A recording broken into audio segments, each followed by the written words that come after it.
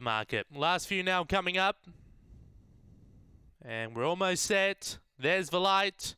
Set to race. Race number two out of Murray Bridge. Set.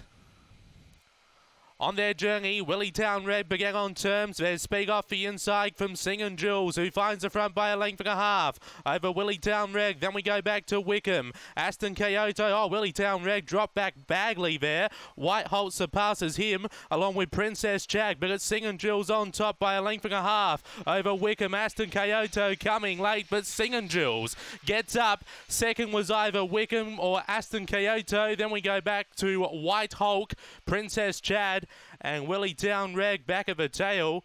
Time around 22 and 70. After race number two, number one, Singing Jules, a double for Bob Harris to kick off the day. He gets the first two wingers, 22.69 for run. Second was close between a four and a five. We're just awaiting on confirmation of that, and a five will get it. Aston Kyoto for Matthew Payne.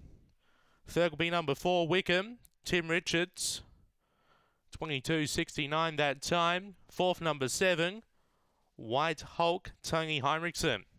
A length and a half, a length and a half by a nose, a length and a half by a nose, 1547, 2269, 510 early. After race number two, here at Murray Bridge.